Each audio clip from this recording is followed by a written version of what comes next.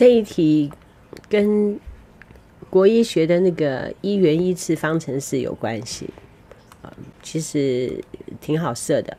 范老师的生日当中，月份与日期的和是三十二，和啊，它就是加的意思，而且月份的平方与日期的和为五十二，则下列叙述何者正确？我们先假设，我们设月份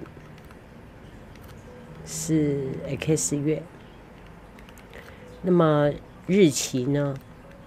因为两个加起来是三十二，我们可以用三十二减 X 月份的平方，再加上日期的和，这是加的意思，加。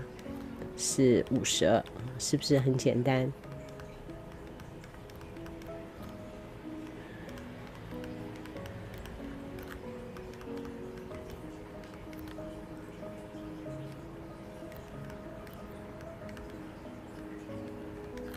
好，这里是 x 减五，x 加四等于零，x 等于五，或者是 x 等于负四啊，不合。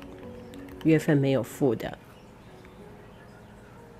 日期呢是三十二减五等于二十七。好，我们选 A，他是五月生日。